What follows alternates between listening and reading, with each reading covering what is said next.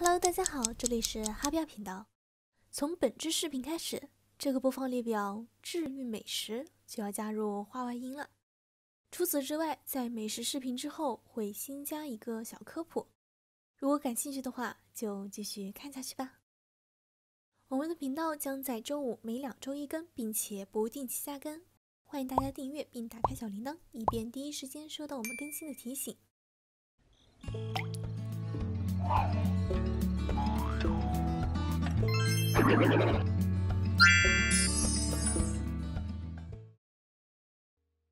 今天的这支视频将为大家介绍一道家常菜——红烧鱼的做法。首先，我们要准备一整条鱼、姜、青椒、干红辣椒、蒜瓣和香菜。调料准备的是料酒、盐、生抽、老抽和水淀粉。食材和调料都准备好之后，就正式开始做红烧鱼了。先将鱼仔细的清洗干净，然后在鱼的正反面用刀划几下，方便入味。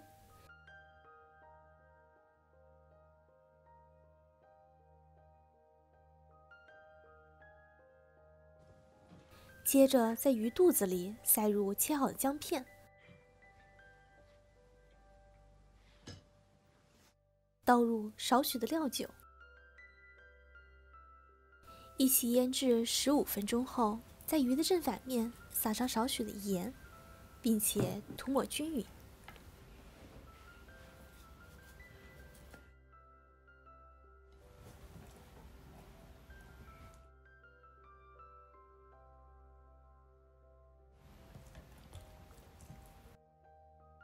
把青椒洗干净后，用刀切成小片，放在旁边备用。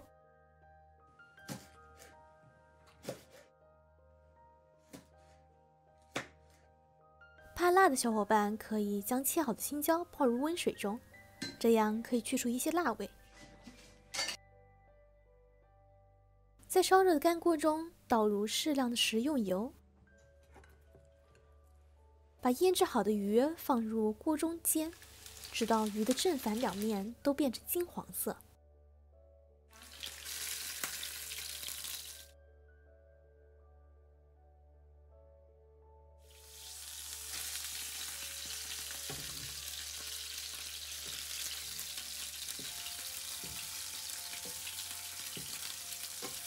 再在锅中加入姜片、蒜瓣。三勺生抽，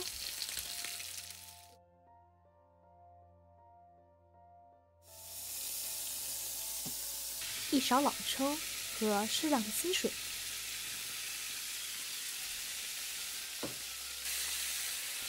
然后盖上盖子焖三分钟左右。三分钟后，将焖好的鱼翻面。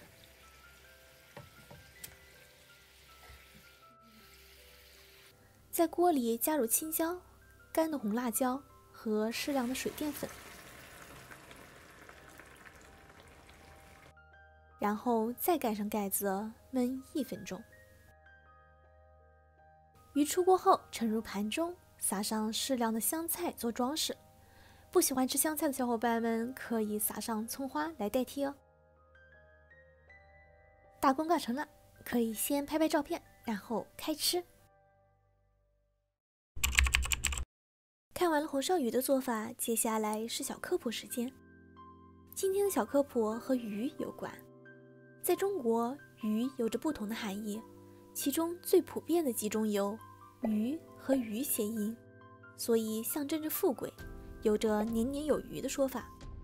这个含义在新年科普的视频里也有提到，大家可以点击右上角资讯卡链接查看相关视频。另一种含义是基于鱼的繁殖能力强。所以，鱼迎合了人们对多子多福、人丁兴旺的生活期盼。在古代，还有鱼跃龙门的神话故事。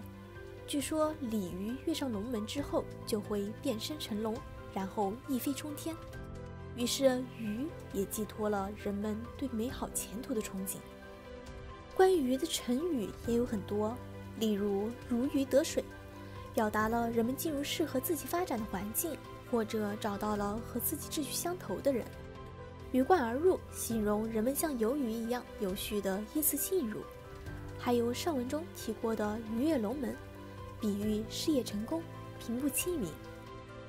鱼也有很多种做法，除了本质视频红烧鱼，还可以做清蒸鱼、糖醋鱼、番茄鱼、啤酒鱼等等，并且不仅可以直接做一整条鱼，还可以只做鱼的一部分，例如剁椒鱼头、鱼头豆腐、酸菜鱼、水煮鱼。如果对鱼的其他做法感兴趣，可以在评论区告诉我们哦。看完这支视频之后，大家学会做红烧鱼了吗？在平时你们喜欢怎么吃鱼呢？是煎鱼排，还是清蒸鱼，或者煮鱼汤呢？欢迎在评论区留言。那么今天的视频就是这样了，感谢大家的收看。如果喜欢此类视频，欢迎点赞、转发、收藏、订阅我们的视频和频道，并打开小铃铛，收到最新视频上线的提醒。我们下次视频再见。